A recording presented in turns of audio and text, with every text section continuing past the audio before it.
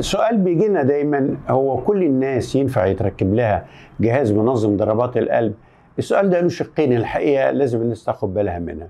لما أقول إن حصل بطء شديد في نظم القلب أدى إلى إغماءات ودوخة وزغللة والإنسان يفقد الوعي في الحالة دي لازم يركب آه، جهاز منظم ضربات القلب وكل الناس لازم يتركب لهم ومفيش مشكلة خالص.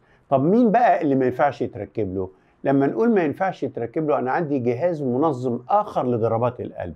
جهاز المنظم ضربات القلب الآخر ده هو عبارة عن سلك كهربائي رايح على البطين الأيمن وواحد تاني رايح على البطين الأيسر. والهدف من المنظم ده إنه يعمل آه، تنشيط وتحفيز للبطينين عشان ينقبضوا في وقت واحد مع بعض. ده يسهل ويساعد في قوة انقباض عضلة القلب وده يستخدم لعلاج حالات هبوط عضلة القلب.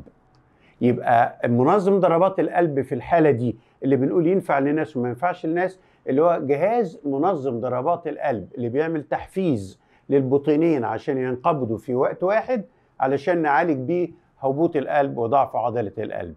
آه في بعض ال- الحالات إحنا بت- 70% من الناس تستجيب 30 40% ممكن ما يستجيبوش وعضلة القلب ما تتحسنش إحنا بنعمل فحوصات قبل ما نركب الجهاز اللي هو بيحفز آه انقباض عضلة القلب ده ونقدر نعرف دول الناس اللي ممكن لو ركبنا له هيستفيد نركبه له.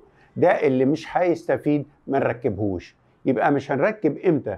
الجهاز المنظم ضربات القلب اللي بيعمل تحفيز لعضلة القلب اللي بيعالج هبوط القلب. لو إحنا عملنا الفحوصات بتاعتنا وقلنا إن غالبا المريض مش هيستفيد من التركيب بتاعه. ده جهاز مكلف جدا بيكلف في مصر 120 150 180 ألف جنيه حسب أنواعه فما بنركبهوش إلا لو تأكدنا إن إحنا في نسبة عالية جدا أو احتمال كبير إن المريض هيستفيد منه وعضلة القلب هتتحسن والنهجان هيقل شوية وورم رجليه هيقل واستجابته للأدوية بعد كده آه، هتزيد.